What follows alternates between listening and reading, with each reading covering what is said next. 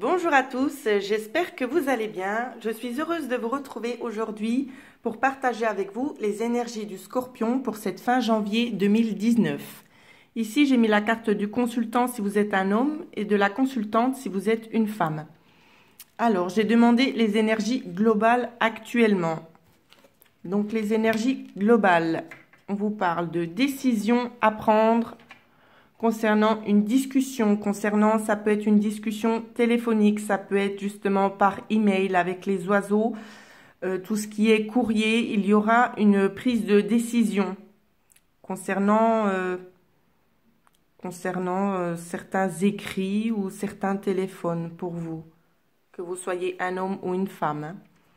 Donc voilà, certaines décisions à prendre sur des nouvelles que vous allez apprendre voilà ce que je peux vous dire euh, dans le domaine professionnel avec le renard. J'ai eu plusieurs cartes qui sont tombées. Alors, on nous pas, on a la carte du bateau, la carte de l'enfant, la carte de la lune et je ne sais pas où je vais mettre celle-là. Je vais la mettre à côté du renard. On a la tour. Alors ici, pour moi, il est notion de mouvement. On nous dit que les choses sont en train de bouger. Euh, pour certains d'entre vous, ça peut être vous-même qui êtes en train d'effectuer peut-être des trajets ou d'explorer de nouveaux horizons. Hein, avec euh, ici cette carte-là, c'est le renouveau, les nouvelles choses. Euh, peut-être que vous allez quelque part dans une nouvelle direction, c'est que vous avez pas vraiment, vous ne savez pas vraiment à quoi vous attendre. Hein. Avec la lune, c'est quand même tout ce qui n'est pas forcément très très clair, tout ce qui est encore un petit peu caché caché concernant euh, peut-être un nouveau travail avec la carte de l'établissement ici. Euh, vous vous aventurez euh, quelque part, vous savez, vous allez justement, vous vous dirigez vers cette nouvelle chose, mais vous ne savez pas franchement à quoi vous attendre. voilà ce que ça me dit. Pour d'autres, ici, on nous dit justement qu'il y aura du mouvement pour ici, je ressens pour certaines personnes qui pourraient être éventuellement dans un arrêt médical, un arrêt médical, je ressens ça. Euh, on me dit qu'il y a du mouvement, il va y avoir du nouveau. Euh, ce sont des choses cachées en rapport avec cet établissement, mais les choses sont en mouvement. Donc si pour euh, plusieurs d'entre vous, vous êtes en arrêt maladie ou vous attendez peut-être au niveau des assurances ou comme ça, euh, on vous dit justement que c'est en mouvement. Hein. C'est en mouvement. Il y a peut-être encore des analyses. C'est peut-être en cours d'analyse justement euh, concernant votre demande. Mais vous aurez du nouveau euh, concernant cet établissement.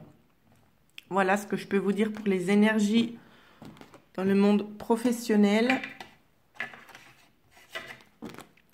Pour les énergies sentimentales. Alors, j'ai eu la carte du jardin et la carte des cigognes. Pour moi ici, pour beaucoup d'entre vous, on me dit que vous avez certainement rencontré quelqu'un euh, dans un cercle familial ou peut-être cercle amical aussi, où c'est qu'on vous dit que les choses vont évoluer. Évoluer, vous allez pouvoir peut-être euh, vous projeter dans une certaine construction. Pour d'autres, on vous dit euh, que vous étiez peut-être euh, séparés, c'est pas vraiment une vraie séparation, mais peut-être distant, une, une certaine distance entre l'un et l'autre. Et ici, on a quand même la notion de se rapprocher, de refaire son nid, en fait, d'un rapprochement concernant cette distance ici. Donc voilà ce que je peux vous dire dans le domaine sentimental. Et la petite carte qui va vous accompagner, qui va vous délivrer les énergies fin de mois de janvier. On a boulet de démolition. Alors, le scorpion, il casse tout. Hein.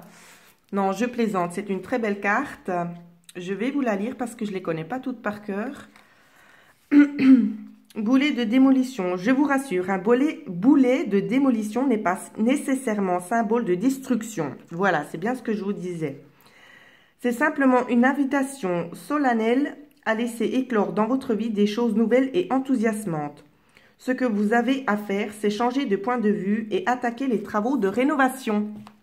Donc voilà, ça rejoint aussi dans le domaine euh, sentimental quand je vous ai dit qu'il y avait une certaine distance et un rapprochement ensuite. Donc voilà.